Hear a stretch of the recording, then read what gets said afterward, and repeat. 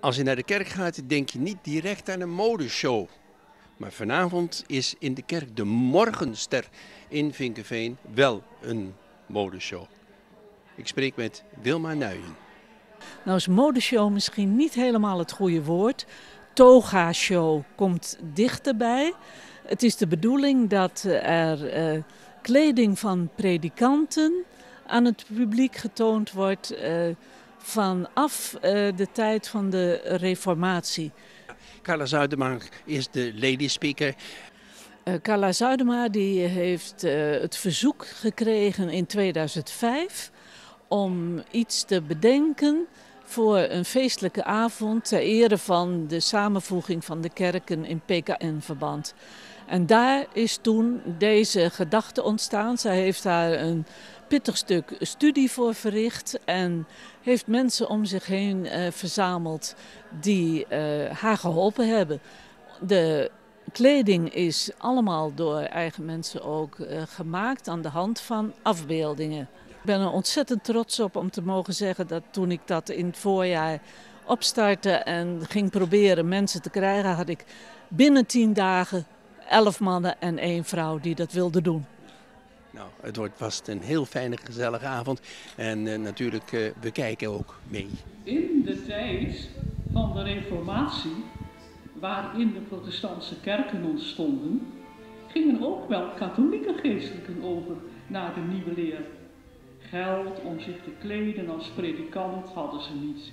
Ze vroegen daarom dispensatie en mochten hun koorkleed en lange zwarte rok blijven dragen.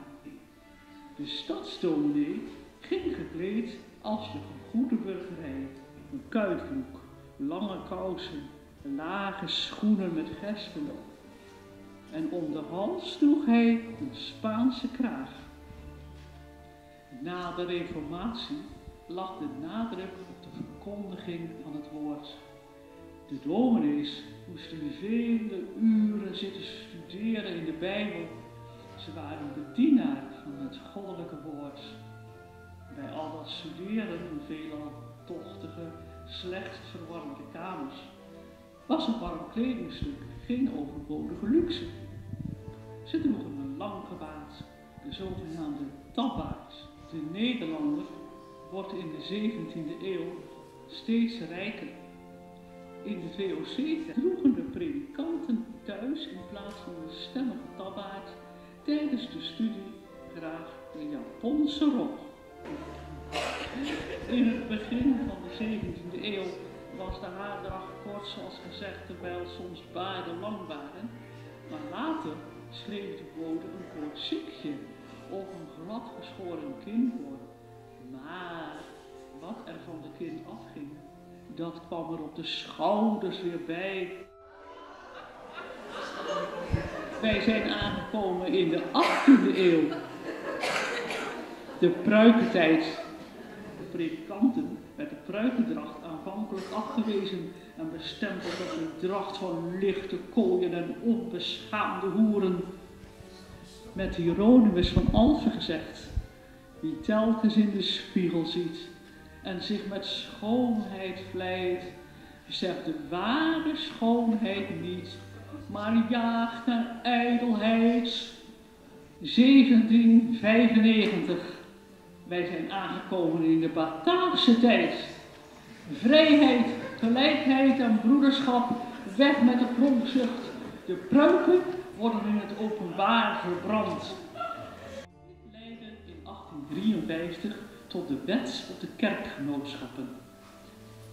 Een verbod op het dragen van liturgische kleding, o wijsheid, buiten het kerkgebouw. Deftige burger over de straat, een stemmig kostuum, een witte das, een hoge hoed, een fraaie wandelstok, liefst nog met zilveren knop.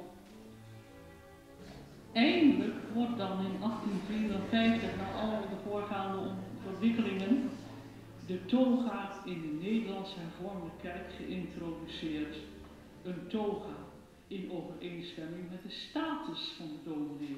Een academicus in redenaarsmantel met bes en paret.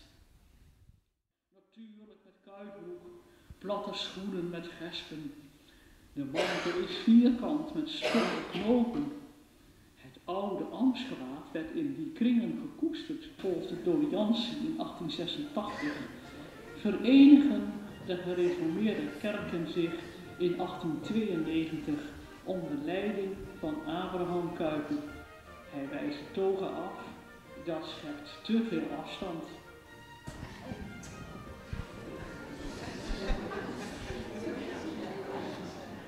Met de reformatie kwam de nadruk te sterk liggen op de bediening van het woord.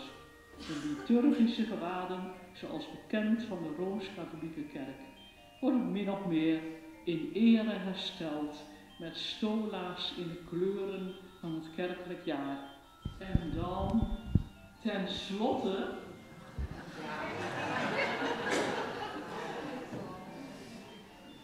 de vrouw in het ambt. Hebben we daar lang op moeten wachten? Gelukkig gaan nu steeds meer protestantse kerken over tot het benoemen van vrouwelijke ambtsdragers.